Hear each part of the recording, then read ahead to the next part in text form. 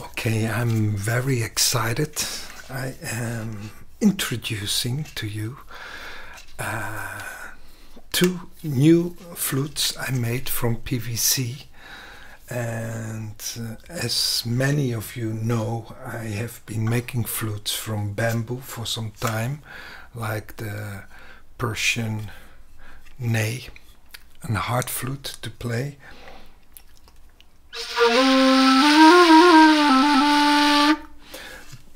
But recently I have been learning to play the ney in a different way.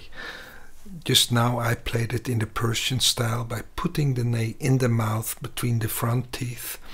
It's a very, very tough way to produce a tone. And there is another technique for playing the ney and also the kaval flute, uh, which is holding the flute outside the mouth and making a form of your lips as if you were going to kiss your beloved. Mm.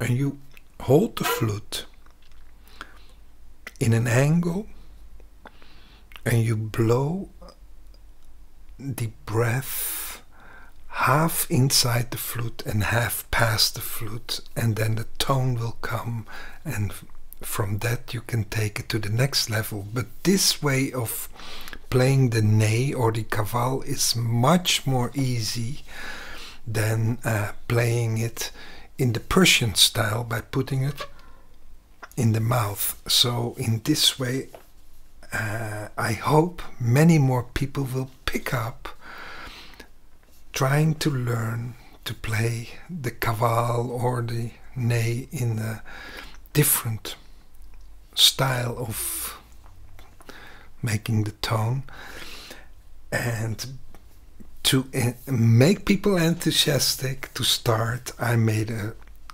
kind of cheap flute uh, from PVC so you can see if you have a connection with this instrument and start playing it.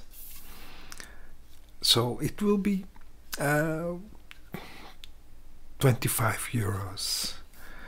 Okay, uh, I will let you hear.